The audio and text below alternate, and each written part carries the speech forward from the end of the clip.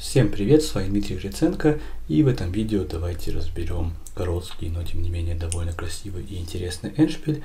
Итак, в этой позиции у нас ход белых, э, белые в пешечном эншпиле без спешки, но тем не менее точными ходами э, белые здесь смогут сделать ничью. Можете для начала поставить видео на паузу, а потом мы вместе с вами разберем, э, как тут надо играть. Итак, э, ну что тут прежде всего можно посмотреть? Ну, допустим, э, какой-нибудь маршрут короля. Ну, например, король d4. Вполне очевидный ход. Хотим где-то сыграть король, допустим, на поле e5. Э, ну и съесть в идеале пешку на e6. Тем не менее, мы это не успеваем сделать. Если, допустим, мы просто сразу идем на поле e5, то после король d7 у белых цугцванг, нет хорошего хода. И на любой отход короля мы теряем нашу единственную пешку. И, конечно же, две лишние пешки – это легкий выигрыш черных. Э, но, тем не менее, в данной позиции мы можем сыграть хитрее. То есть белые все-таки не обязаны играть сразу король e5. Они могут сделать ход, допустим, королем на поле e4 с целью сыграть король e5 в дальнейшем. Э, но тогда, опять же таки, э, проблема в том, что после хода король d7 белым нужно будет все-таки играть король e5. И если бы у черных не было пешки на поле c6, то у черных тоже был бы цукцванг, но так за счет пешки c. Цукцванга у черных нет, и все-таки ход c5 заставляет белых пойти королем назад. Соответственно, пешка d6 все-таки теряется, и опять же две лишние пешки, это э, легкие, легкая победа черных. Здесь черные, конечно же, выигрывают. А, ну и в принципе, что тоже важно. Важно понимать, что а, на любой ход короля белых у черных план пойти королем на c8, потом какой-то момент на поле d7. Соответственно, э, в этой позиции э, после дальнейшей э, потери белыми пешки на поле d6, конечно же, черные побеждают. Поэтому, в принципе, первый ход, он вполне напрашивается. Это ход d7. Ну, идея простая, отвлечь короля черных от защиты пешки c6. Черный играет, конечно же, король c7.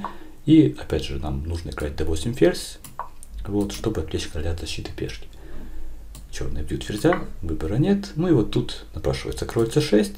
А, вот. Но тем не менее данная позиция, она проигранная у белых, потому что черный король успевает попасть на поле f6.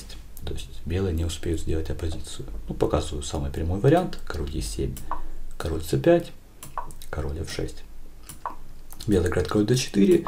И вот здесь при ходе белых, белые успели бы сыграть королем на поле e4 и была бы ничья.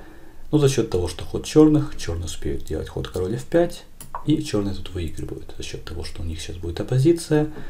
Ну вот, допустим, если сыграть король e3, оппозиция после король e5 у черных, ну и далее это уже технически выигранная позиция. Тут единственное, что хочу напомнить, что нам всегда в таких позициях нужно максимально улучшать положение, положение короля. То есть ведем короля вначале, ну, допустим, ставим его на поле e3, можно, в принципе, пешку уже вести. Вот. Но суть в том, что мы короля вначале максимально улучшаем, и при короле на поле e3 эта позиция всегда выигранная у черных, неважно чей ход, потому что черные в конце э, довольно легко проводят пешку ферзей. Ну, доводить позицию до мата уже точно не буду, это не думаю, что нужно, но э, просто показываю план за черных. Итак, э, значит, какой вывод мы делаем? Что в варианте d7, если мы просто проводим пешку, седаем затем на c6, э, то в общем-то, это нас не устраивает. Но, тем не менее, опять же, шахматы не шашки, это очень важное правило, что бить мы не обязаны.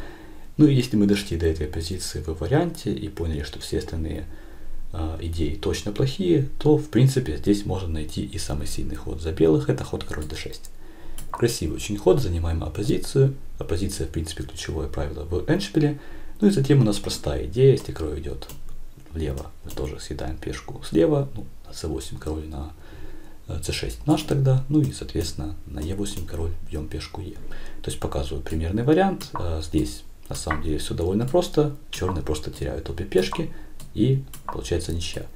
А, тем не менее, черные, конечно же, могут сыграть хитрее, и мы вариант обязаны продолжить даже в данной ситуации после хода король d6, потому что черные могут сделать ход c5 либо e5. Там одинаково, конечно же, белые будут играть, одинаковый принцип, но давайте его разберем. Итак, черный играет, допустим, e5. Разницы большой нет. В любом случае, на любой из ходов пешек мы должны съедать эту пешку. Вот. И здесь черный играет король c7. Хотят провести похожую идею, обойти королем и занять ключевое поле b5. Но вот здесь очень важно, что вот похожей позиции, что и ранее. При ходе черных король b5 и черные выигрывают, но при ходе белых король c4 и ничья. Потому что король черных стоит на одной линии с пешкой, должен король стоять обязательно перед пешкой данной позиции, и а, здесь черные выиграть не могут. То есть идея у белых простая, мы всегда, если идем назад, идем по вертикали, на которой пешка. Вот, если же мы, а, в общем-то, можем занять оппозицию, мы ее занимаем. Здесь оппозиция достигается ходом король b3. Ну и доведу уже давайте до конца, до пата эту позицию. В конце уже все очень легко, но тем не менее давайте доведем до логического завершения. То есть, в принципе, что важно? Важно, что в таких вот позициях, когда э, действительно у нас хуже по материалу, допустим, нету пешки, нужно искать все контршансы и, соответственно, проверять все идеи. В принципе, идей у белых не так много. Либо маршрут короля, а, либо движение пешки. Второй вариант, да, движение пешки с дальнейшим взятием на c6. Однако, если мы увидели, что прямой вариант с взятием не работает, тогда, в принципе, ход король d6 тоже легко находится, потому что если пешку не бить, тогда и не играть король d6, да, тогда черные сыграют, допустим, король c7, король d7, неважно, и защищают свои пешки. И далее с двумя пешками, конечно же, черные побеждают. Поэтому король d6, ну и далее точными ходами а, белые делают ничью.